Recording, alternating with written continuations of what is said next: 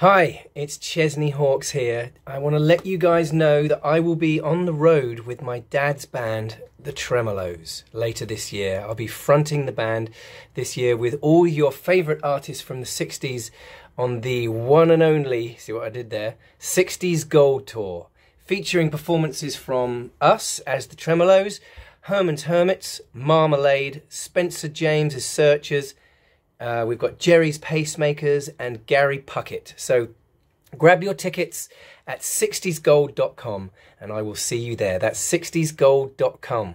Go get your tickets now.